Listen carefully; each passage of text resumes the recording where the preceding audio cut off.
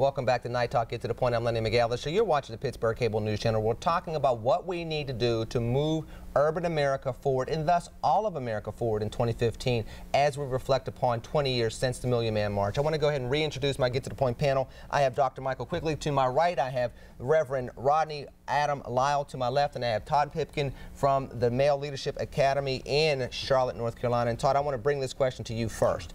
We keep talking about change, okay? Mm -hmm. Yes. What does change look like in 2015? And once change comes to institutions that say they want change but doesn't necessarily really want change, what does that dynamic look like? Because everybody wants peace and harmony until you have to give up some power, until you have to admit some flaws, until you have to sit there and say, we're going to do some things differently. For example, you sit there and say, well, we want prosperity for everybody. That's great. But now we're going to say that these jobs go to these communities because they've been locked out for 40 years. Then all of a sudden there's pushback. What does change look like when those type of uh, conflicts come up? Well, people have to be willing to do it. I mean, mm -hmm. change, change is uncomfortable. None of us like change. But when that doesn't transpire, when you see one aspect of a community wanting change and another aspect of the community not wanting change, how does that process go in order to get us to where we need to get to, or else we're going to continue to spin our wheels. Right. I think as a community as a whole, if the African American community, if it's Pittsburgh, if it's Charlotte, they want change, we have to come collectively together. I'm born and raised here. That has always been an issue in Pittsburgh.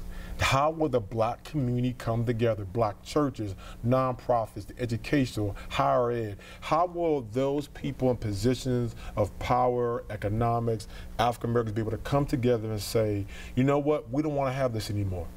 And how do we help the Homewood Brushton to be the first model? How do we help the North Side? How do we help Northview Heights? How do we help the West End? That has to come together from a group of people saying we're tired of it. And then there's after that group comes together, what then is the plan? Well, there are times when that that urgency, that sense of urgency, mm -hmm. can be dismissed. Yeah. And I, and I agree with you, Brother Todd, that uh, we, we need to collect, uh, mm -hmm. collectively approach this, this, this, this issue. Uh, but change typically comes at a pace that's palatable for those that are in power. Mm -hmm. And so the thing that we need to do as a group, as a collective, mm. is to focus our energies on policy change because yes. policies uh, yes. outlast personality. And that's what I want to exactly. put. That's what I want to throw out there as well because even the definition of change, and I'm going to challenge mm. this right here, right now. Even the definition of change, whether it's here in the city of Pittsburgh or it's in urban cities like Pittsburgh. Mm change usually means get the guns off the street. Yeah. And that's as far as it goes. It doesn't usually mean get more jobs in the communities. It doesn't usually mean increase the quality of schools to make sure that these individuals can get jobs, that they can buy homes, buy new cars, sustain their families. It's usually we need change because we're having too many shootings. What is it going to take, Reverend Lyle? and you, your church is right in Homewood Brushton, mm -hmm. so you're a prime example of this. What is it going to take to have community leaders, political leaders, whatever it may be, black, white, other, to change the definition of change so that quote unquote change can really find roots? I'm going to tell you something. I'm going to tell you what it's going to take.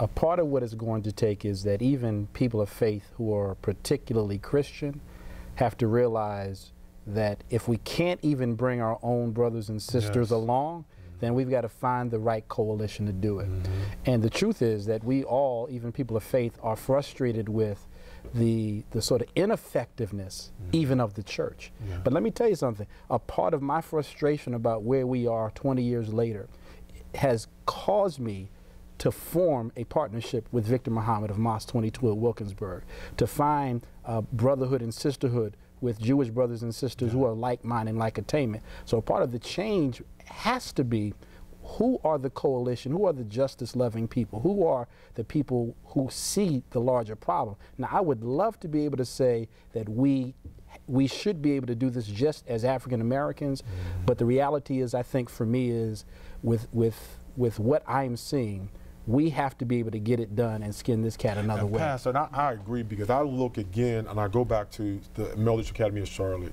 It was a co it was a collective group of all types of people and they saw the same vision and saw the unjust that was going on in the African American community for males and decided, how can we help you? If it was NASCAR, it was the Foundation of Carolinas, it was Coca Cola, they said, what can we do to help?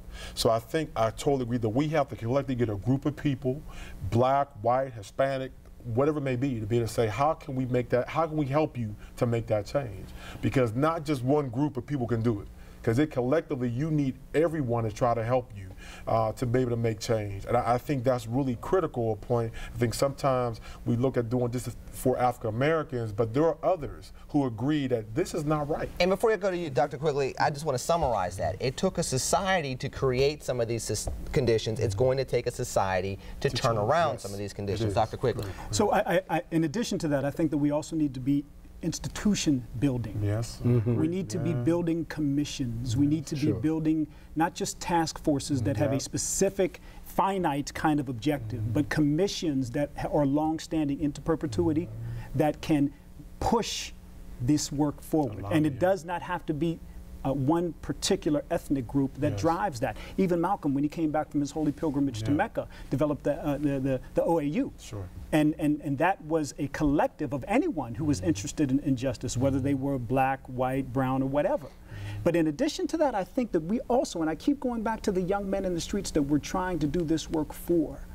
And I'm not a man of the cloth, but I believe in 1 Corinthians 13. Yeah 4 through 13 that teaches us how to love. That's right. And we can't come at these young men nope. trying to tell them that they're wrong yes. for living the way that they are. Right. We have to come at them with love. But if, if, what, what, and I guess to challenge that before we go to break, even the definition of love has to change because if they feel like we love them and our love is going to tell them to put a gun down and that's pretty much it, that's not enough. That's if they right. don't see us stand up for them, if they don't see themselves getting opportunities and they don't see people standing in the way in the of make of basically the interference between them getting in trouble, them going down a, a path that mm -hmm. continues generational poverty versus something new, then they're not going to change anything at all, which then goes to this, and I'm going to come back with this when we come back from break. What does that change look like? We're already talking about the types of things that need to transpire, but what type of discomfort will we go through as Americans mm. while that change is coming into place? And what are we willing to deal with? We'll talk about that next on Night Talk Get to the Point. Mm.